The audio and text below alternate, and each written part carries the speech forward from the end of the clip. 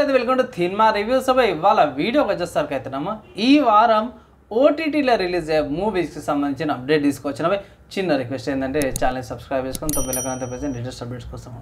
So ఈ first movie చూసుకుంటే మాత్రము భూతత్వం భాస్కర్ నారాయణ ఏదైతే ఉందో ఈ మూవీ ఓటీటీలా వచ్చేసింది. ఒకవేళ ఇట్లా మీరు చెక్ చేసుకోవాలంటే పోయి చెక్ చేసుకోండి.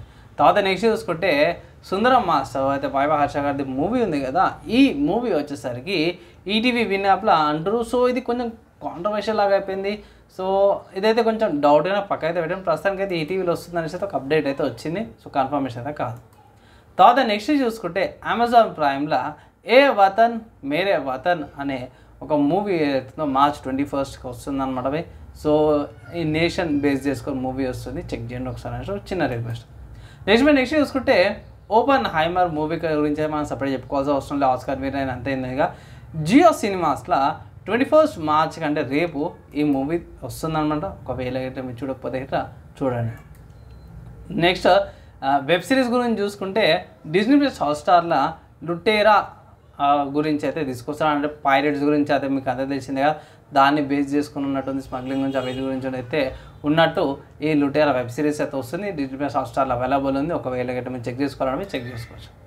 నెక్స్ట్ యానిమేటెడ్ వెబ్ సిరీస్ గురించి యానిమేటెడ్ సిరీస్ గురించి చూసుకుంటే మాత్రము ఎక్స్మెన్ నైంటీ సెవెన్ అనమాట సో ఇక్కడ మీకు అంత తెలిసిందే స్టార్ ప్లేస్లా లేకపోతే జెటెక్స్లా మనకి ఎక్స్మెన్ వస్తున్నాయి పాత క్లాసిక్ అనేసి.